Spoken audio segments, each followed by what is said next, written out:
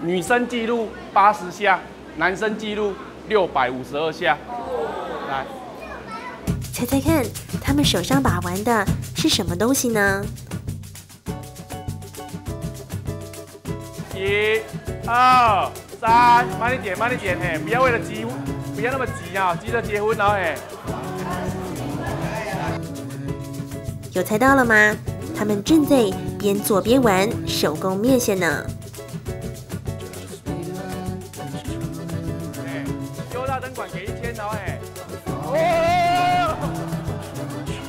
我们希望你来玩哦，自自己做出那种 Q 劲，自己做出这种弹性，就不用我跟你说手工面线有多好了，手工的面有多好。你自己做出来之后，知道那个弹性 Q 劲之后，你会认同手做。你认同手做之后，间接就是认同我们。来，先生太太，情侣嘛哈，情侣要小心哦。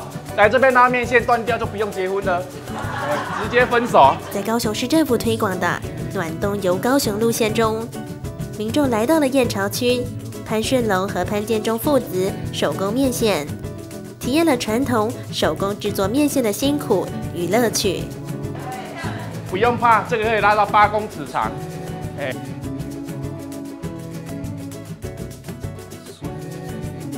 你们两个拉都没有断的话，你们两个可以考虑看看哦。嘿来，一、二，等一下我帮你数。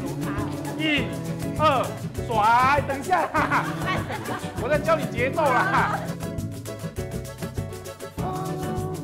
民众也不是只有单纯的拉面线，在拉之前还有许多工作要做。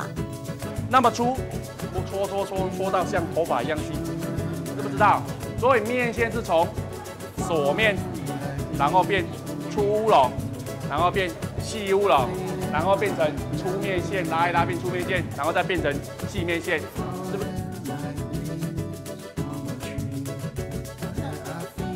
希望我们产量能够减少也没关系，但是我们希望你来玩玩看，做做看，感受一下那种手做的感动。觉得寓教于乐吧，从来不知道做面线这么辛苦，因为平时大家不知道这些地方，然后要过来可能有些困难。那我觉得这样子的一个活动做的蛮不错的。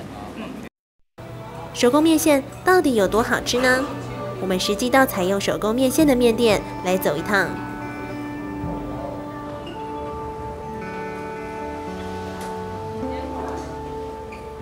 大量生产跟你有限量人工下去做，就是一定会有差别。但是你吃下去，你像我们很多客人就是吃了这个面线之后，他们也会去潘老板那边买。为什么？因为那时候吃了这个面线之后就上瘾了。你再吃别的面线，就就是你吃到好的东西之后，你再叫你回来吃比较比较平常的东西，你就会觉得说口口味不合这样。因为一般外面比较少看到说面线会拿来炒。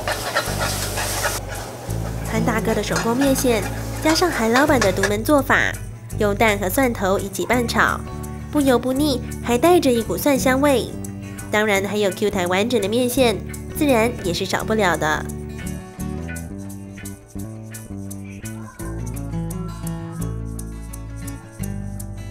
因为手工面线它的弹性，它煮它煮不会像那个一般面线那么快烂掉，然后它煮起来之后，它会有一定的口感，一吃就上瘾了，这样子 真的好吃，这样。面入口即化。它的面线好吃，Q。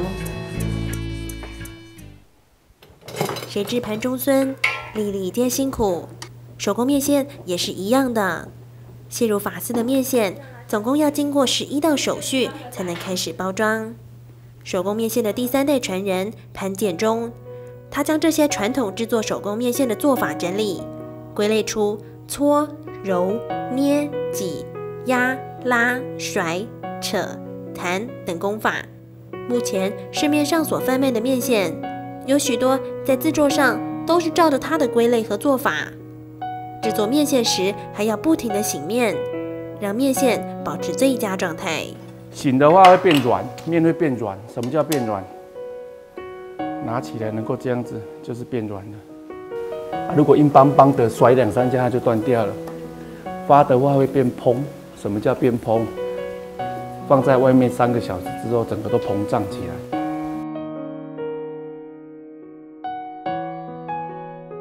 他们喜欢吃手工的，但是去外面买，每一家都说是手工的，他们每家都去试，结果口感都不尽如所意，所以他们在买买手工面线的时候都非常的求证，在求证，能够到现场看的，几乎都跑到现场来看，他就是非要看到你在那边拉面线，他才肯买就对了。一直的旋转，这样子绳子才会够坚韧，这个也是一样的意思。潘大哥一出生，家里就在做面线。随着年纪增长，他意识到手工面线几乎快要被机器制作的面线取代。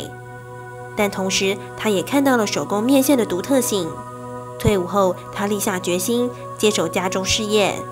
他说：“他不懂什么叫做传承，他只知道他要继续做下去，因为他相信只要坚持下去，做手工面线也会有成功的一天。”手工面线的制作实在太耗体力。潘大哥说：“现代人讲求名利与头衔，年轻人不可能每天花十几个小时学习制作手工面线，所以他们也不请员工了。”潘大哥的妹妹是家中最晚投入面线事业，负责如雪花一般飞来的订单。现在一家人同心协力，要让更多人知道手工面线的好。这如果吃下去的话，基本上几十年都跑不掉。包括吃到结婚生小孩都还在吃。潘大哥低着头，弯着腰，把面线高高举起，像是敬天一样，再用力使出全身的力量将面线拉开，要拉到八公尺才算完成。整齐的面线在微风中轻轻摇摆着，等待阳光赋予它们全新的生命。这面线里头不是只有面粉和盐水。还有潘大哥的用心，还有潘老师傅对儿子的期待。